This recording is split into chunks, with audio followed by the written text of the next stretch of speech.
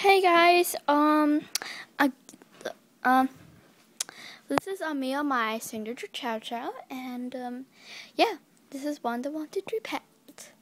And if you've seen the other video, which you did not, because I just posted right now, or five minutes, five or a few minutes ago, well, you haven't probably seen it or this video yet. It's because it's new. So you know, I yesterday I have a loose tooth, and guess what? My um, I got money, and my mom put it on her in her wallet, uh, but I didn't notice it because I didn't feel it at all.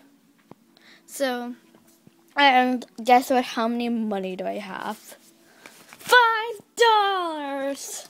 Isn't that like? And I uh, live in the United States which is the Empire State. That's actually New York. Who cares? This is the Empire City. I live in the Empire City. Yes, I live in the United States, and then I, I, I forgot. Uh, I think he was a president. I forgot, like President Lincoln, a second president. I can't remember. I don't forget my history. the five dollar. This was really cool.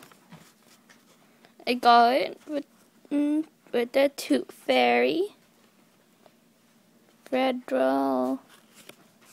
This is really cool. And yes. So thank you guys for watching this video and I hope you like it and this is just a random video. But yeah.